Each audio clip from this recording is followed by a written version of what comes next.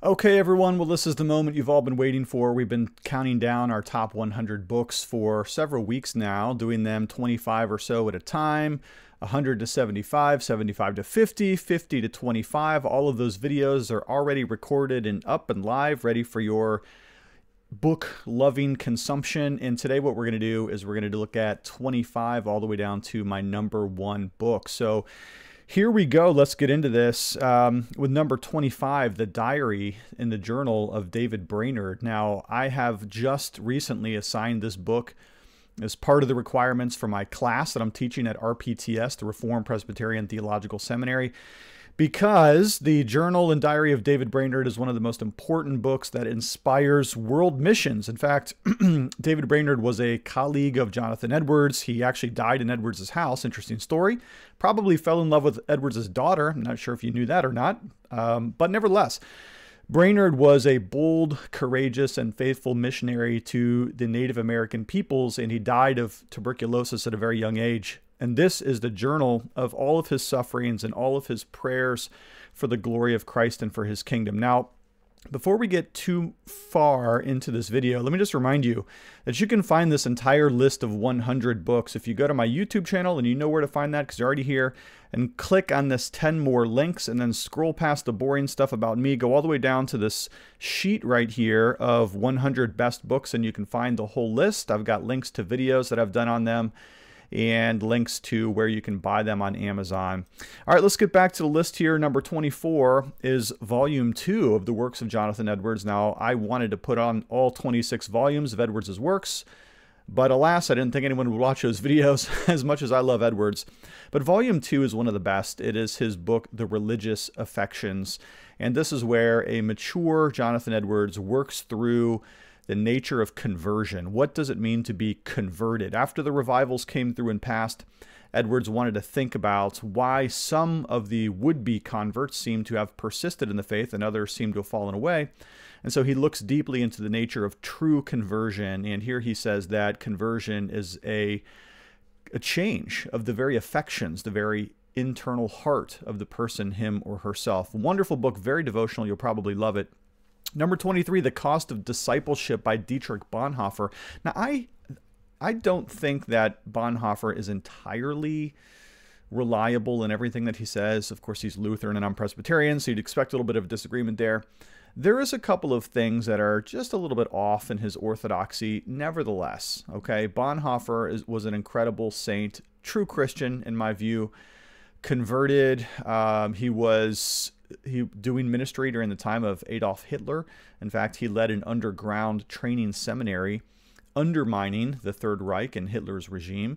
And the cost of discipleship is his well, probably his magnum opus about how difficult it is to be a Christian. He talks about um, when Christ calls a man, he bids him to come and die. One of his favorite, my favorite lines of his, and many other sayings related to the Sermon on the Mount, the teachings of Jesus particularly as Christ bids us to come and give up absolutely everything to follow after him. Cost of Discipleship, great book. 22, A Defense of Calvinism by Charles Spurgeon. Now, this is more of a tract or a booklet, but I do refer people to it quite a bit because whenever people get bad apprehensions about what Calvinism is, they often don't even realize that Charles Spurgeon, someone that they love, was a Calvinist. And this was his short little book defending the essence of Calvinism. In other words, a strong emphasis on the gospel, of course, but also a very strong understanding and theology of the sovereignty of God over all things, including election and atonement. A wonderful little book, definitely worth your read. Number 21. One of my top dystopias, 1984. This book is basically coming true today as we look at the authoritarianism of our growing uh, increasingly powerful centralized governments, subsuming all of the other things of the state, uh, crushing other worldviews, uh, crushing what it believes to be wrong think. I've done a couple videos on this book. It's a really great fictional book, but it's also a little bit scary in terms of its realism today, unfortunately. Number 20, Desiring God by John Piper. I hope you like John Piper as much as I do. I realize there's some things that we may disagree with.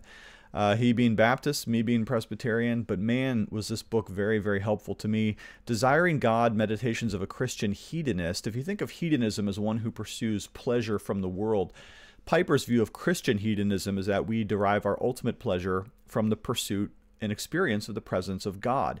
And then he takes that principle and he applies it to several basic categories of, of Christian life, including finances, missions, family life, things like that one of the best devotional reads. Really appreciated this book, especially when I was a younger man.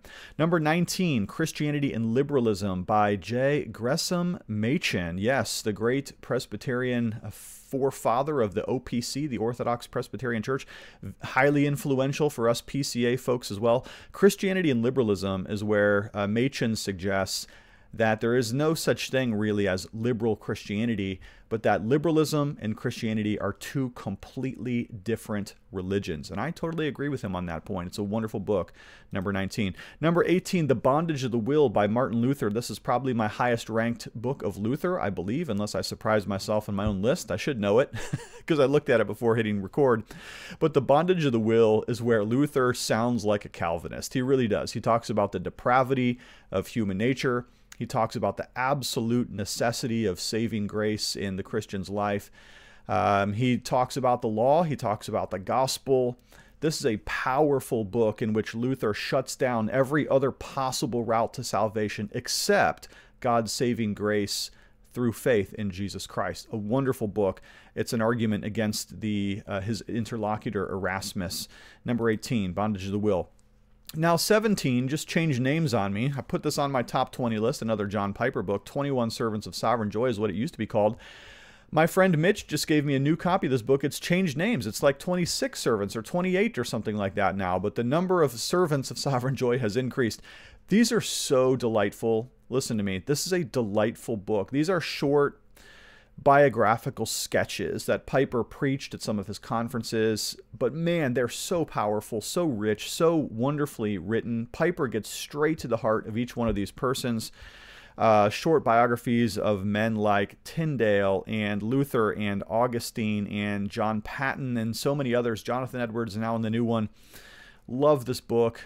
Hearty, wonderful, warm, motivating biographical sketches from John Piper. I just like Christian biography and church history, so this book is great for me.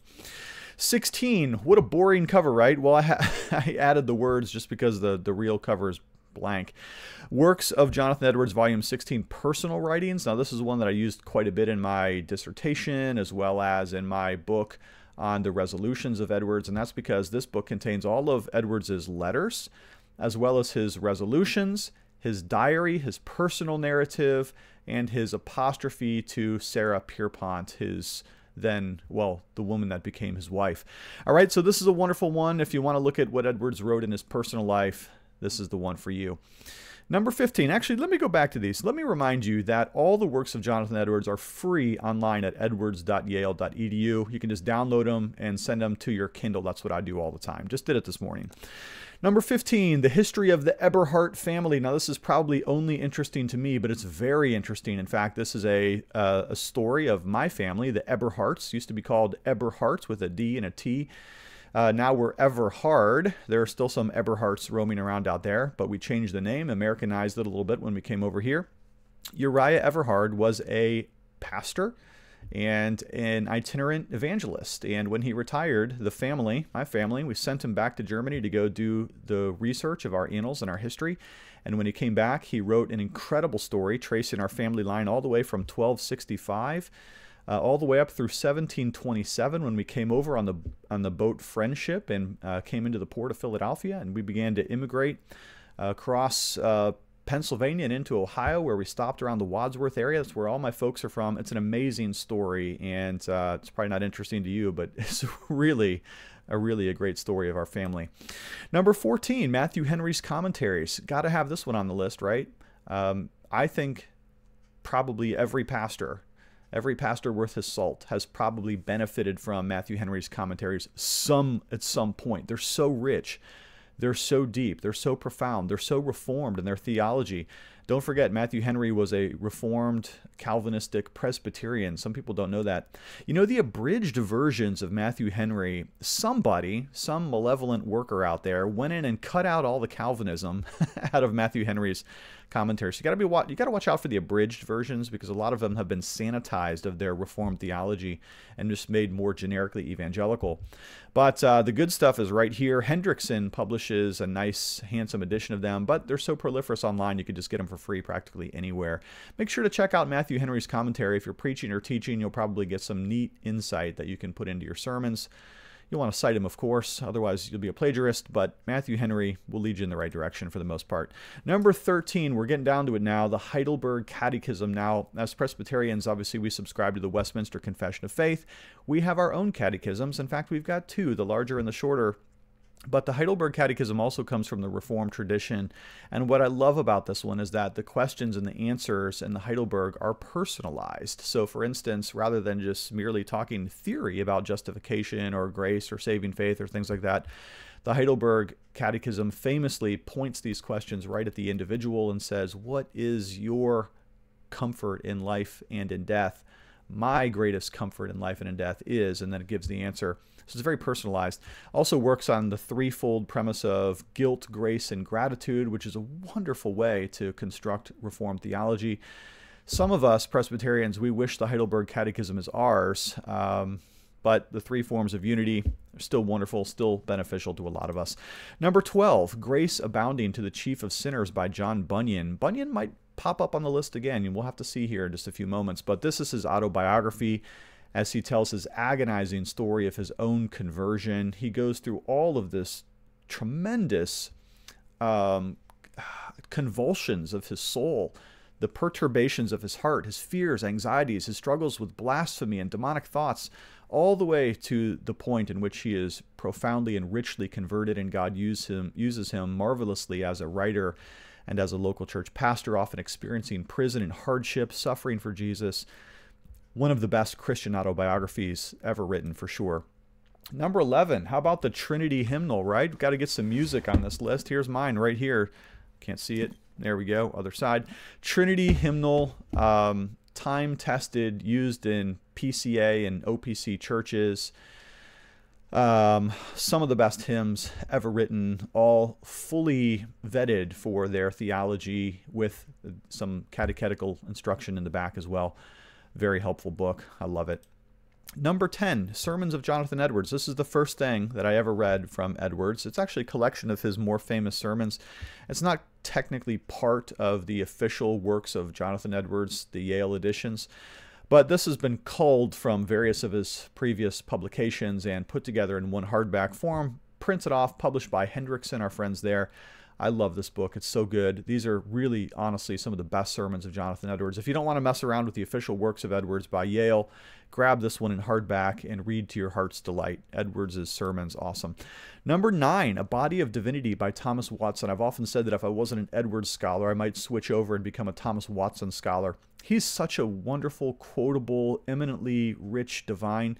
Somebody asked on Twitter the other day who would be a Presbyterian counterpart to Charles Spurgeon. I commented, I think Thomas Watson could be that. Spurgeon is known for his wittiness, his quotableness, just the insightful ways that he states beautiful doctrine. Watson is exactly the same. When I read some quotes and passages from Watson, um, I almost think I'm reading Spurgeon. So if you like Spurgeon, you'll probably like Watson. Watson not quite as funny as Spurgeon is, but nevertheless just amazing stuff. He's got three books that you should be aware of A Body of Divinity, he's got a commentary on the Ten Commandments, and then another commentary on the Lord's Prayer. Those would be the three main works of Thomas Watson. You'll love every single page, I promise you. We're in the top 10 now. Can you believe it? Number eight, Morning and Evening by Charles Spurgeon one of the best devotions. I've talked about this book many times on my channel. In fact, all of the top 10 are probably going to be things I've talked about before. Morning and evening has two devotions for every day of the calendar year. So January 1st or whatever day you're on has two devotions, a morning devotion and an evening devotion. Each one is Spurgeon's extrapolation of one particular verse of the Bible. They are perfect for personal devotion or use in family devotions. You can use them on mission trips, multi-purpose. Sometimes I even take notes on them and put them in my wide margin Bible because the way he just the way he elucidates scripture is so beautiful and rich and helpful. I love pretty much any devotion is a masterpiece, and there's hundreds of them in this particular book. Number seven, Chronicles of Narnia. True story. Last night, got my teenage girls. We're sitting on the couch together. I'm reading The Lion, the Witch, and the Wardrobe out loud to them. I'm doing every voice to the best I'm able to do them. We get to the chapter on the stone table, and I can hardly even hold it together. I'm trying to just not cry because the book is so amazing. One of my daughters commented that she she just felt it deep inside her as we were reading the story of the death and resurrection of Aslan. Obviously, a typological description of the cross, uh, looking to Jesus Christ. Aslan is the Christological figure in the book. These stories are just so amazing. Guys, if you're not reading them yourselves and not reading them to your children, I don't know what you're doing. These books are amazing. I love them so much. You know, it's funny. I'll just go on for one second here. Every time I tell my girls, hey, let's read tonight, I'll read you some, some of the book they always kick up a fuss because they want to do something else, do something more mature. They're in high school.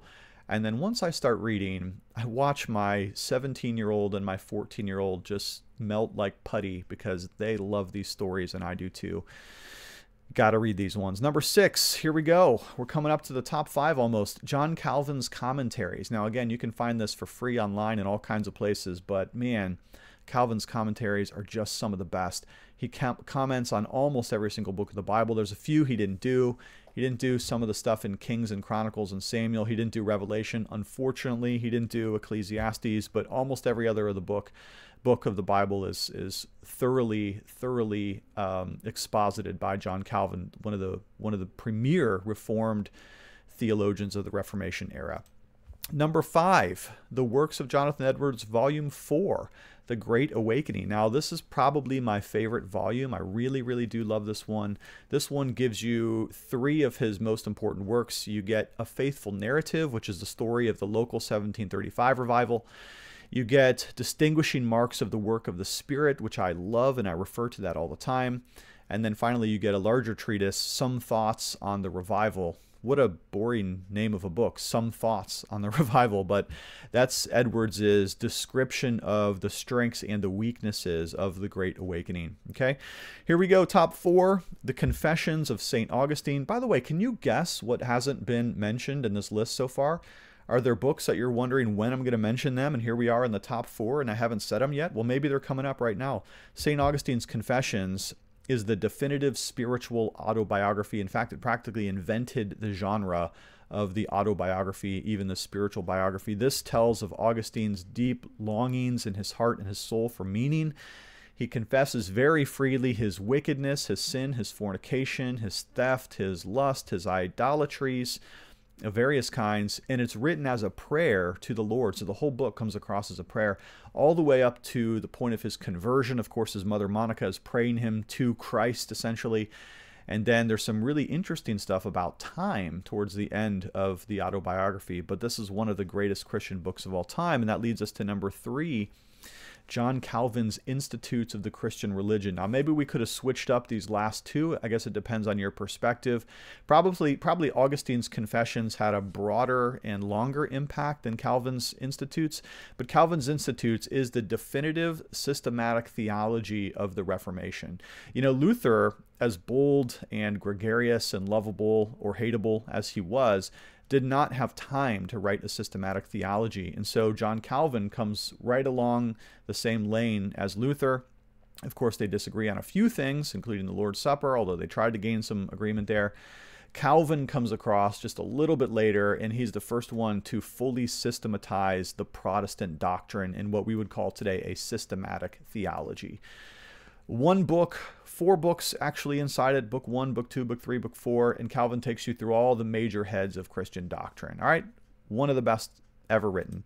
Number two, the Westminster Confession of Faith and Catechisms. Can you believe it? We haven't even said it yet, except for by way of reference. But here we go. This is my number two. Now remember, this is my list. You can totally disagree with me. Maybe put uh, Luther or Calvin or Augustine ahead of this one. But for me, the Westminster Confession of Faith and the Catechisms is one of the most helpful books ever written by man. Now, we call these our subordinate standards because obviously everything is subordinate to the Word of God. The Word of God is the only inspired, infallible, and inerrant book. But the Westminster Confession of Faith is our standards for doctrine and uh, practice. The catechism's eminently helpful. The confession, unbelievably wise in its definitions of systematic theology and biblical theology and other such term terminology. Okay, and then that leads me to number one. And before I say it, what is your guess? If you're going to make a comment here, what would you say you think my number one book is going to be? Maybe you thought this would have been it right here. But here we go. Number one, are you ready? Do you know it? I haven't said it yet. Here we go. Pilgrim's Progress by John Bunyan. It's just my favorite book.